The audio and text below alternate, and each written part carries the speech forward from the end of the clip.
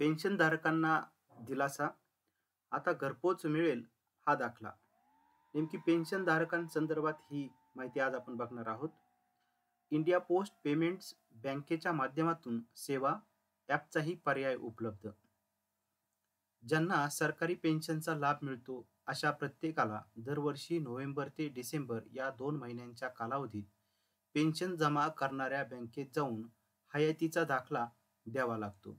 यासाठी आता टपाल खात्याने घरपोच जीवन प्रमाणपत्र डिजिटल जीवन प्रमाणपत्र म्हणजेच हयातीचा दाखला सुविधा सुरू केली आहे. हयातीचा दाखला म्हणजे पेन्शन घेणारी व्यक्ती जिवंत आहे याचा हा पुरावा असतो. हा दाखला बँकेत सादर केला नाही तर बँक पेन्शनधारक व्यक्ती मृत पावली आहे असे समजून पेन्शन जमा करणे बंद करू शकते. त्यामुळे हा दाखला वेळेत बँकेत सादर करणे अत्यावश्यक आहे.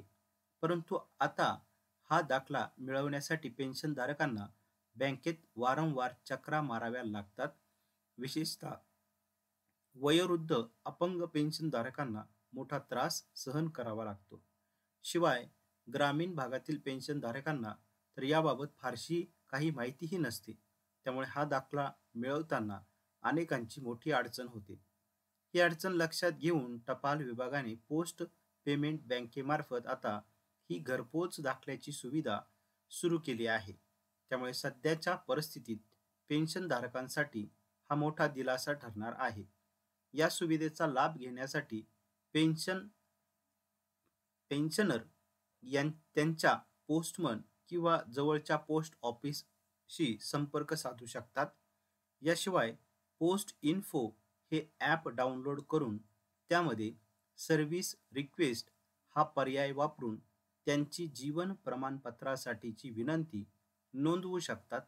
या विनंतीप्रमाणे पोस्टमन पेन्शनरच्या घरी येऊन आधार आधारित बायोमेट्रिक प्रमाणीकरणाद्वारे जीवन प्रमाणपत्र जारी करेल.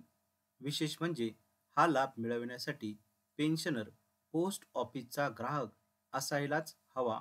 असे कुठलेही बंधन नाही. त्यामुळे कुठलाही पेन्शनधारक या सुविधेचा लाभ घेऊ शकणार आहे. ही माहिती आवश्यक. हा लाभ मिळवण्यासाठी पेन्शनधारकाकडे पेन्शनचा प्रकार उदाहरणं सर्व्हिस पेन्शन फॅमिली पेन्शन इत्यादी पेन्शन विभाग पेन्शन मिळणाऱ्या बँक पोस्ट ऑफिसचे नाव पेन्शन पेमेंट ऑर्डर म्हणजे पी पी ओ क्रमांक पेन्शन ज्या बँक तसेच पोस्ट ऑफिस खात्यात जमा होते.